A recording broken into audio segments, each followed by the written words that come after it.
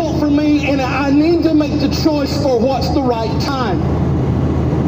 The right time is is when you stand And with your husband is before God. beautiful, beautiful Sunday commitment and a morning here, local You then enter into the covenant of marriage. Right and now, then you go to the 11, realms of 49 procreation. That's when it's the right time. Anything other than that is a sin. Still, Sweet Home, Alabama. They take and their children uh, state just of so they Home, have Alabama. their ease and you see, uh, they are getting already it's terrible, isn't it? spring Doesn't make us weather. church folks Uh, plus, I mean, you can see the after all, if I spring was say, hey, trees, let's go pick up They are some of you are opening up. right now. You say, let's go. you know, getting ready for leaves, I mean, think flowers, about it, wouldn't we? It and makes it brand new, fresh about it, because especially when you season I got a coming brand right new now grandbaby. in Alabama states. I keep my hands on that little girl. Uh, I this start tree is so to her. I know it's beautiful, horrible, but she so fresh, so brand new. If Uh, ready for hasn't said anything. already spring So y'all seasons going on here in Alabama. And I look at that little girl, and she'll take her little feet and legs and stretch out there. I'm and I count her listening uh. Sunday Christian channel here. I look at her little hands. I see her little eyes as she's looking around. And, and, and if the thought crosses my mind or, the, or I hear something about the, these atrocities, it, it just, I think, they better not nobody play that game with this baby. Y'all ain't seen G.I. Joe with a Kung Fu grip. You don't know what boys from Sand Mountain do. Don't even ask. Just don't try to dream about it either. Because this is not good.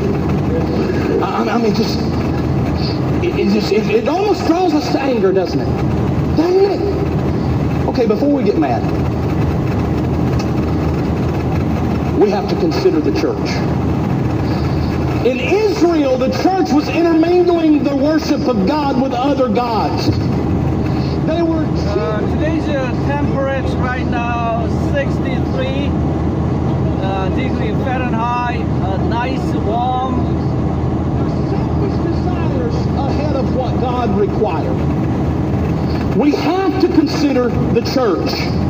As we consider the church in Israel, I want to use it as a parallel to look at the church today. That's a cruise ship. Many churches today have found themselves moving further and further away of the Great Commission and found themselves doing nothing more than becoming a entertainment industry. We found ourselves kind of like a cruise ship. If you've ever been on a cruise, it kind of goes like this. You show up after buying your ticket. You go through the screening, you get on board. You end up at a muster station where they give you the rundown just in case this old ship goes down. This is where you go. This is what you do. When it's over, you're free to do whatever you want.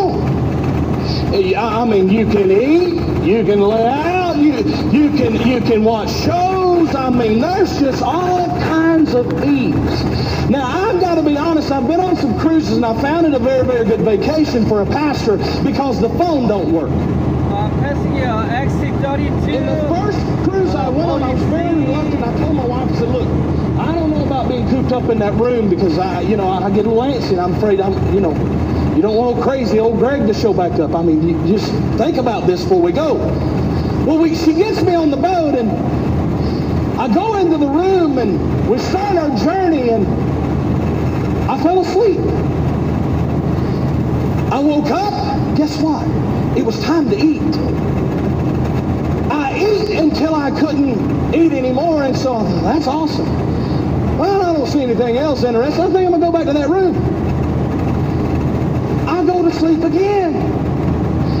I'm taking three-hour naps. I mean, I, I asked her, I said, do they put gas in these rooms, or what, what's...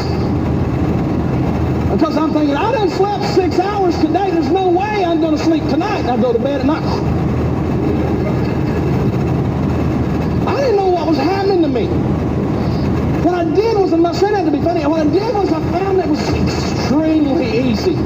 When I would go out supper at night, I'd say, you see this face? He gets two plates.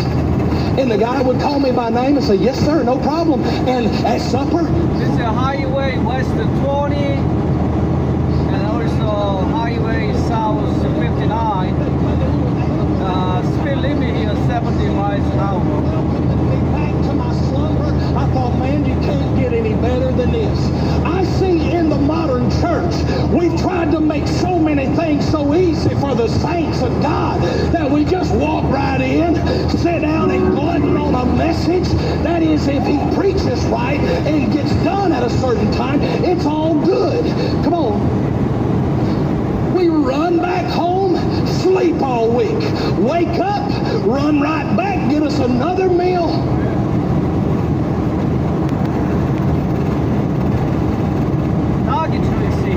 We're part of the saved, the redeemed.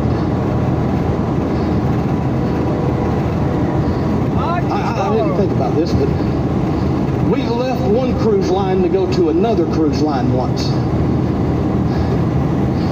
I found out how spoiled the other cruise line had me. The people, the staff, were not courteous. They Look weren't friendly. beautiful spring trees. now. Captain never come by and saw me at my cabin. He never invited me up to the to the bridge. I mean, servers were just kind of mean. I thought, man, I won't be back on one of these. It exposed just what kind of church member I'd be.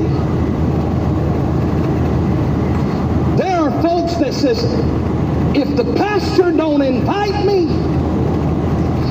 if the staff don't take care of me right, I'll bless God, go to another church and grace them with my wonder. I'll give them my glory, and they'll appreciate how good I am and what an asset I am. Honey, can I tell you something? That's a cruise ship mentality. We're at ease in Zion when we're more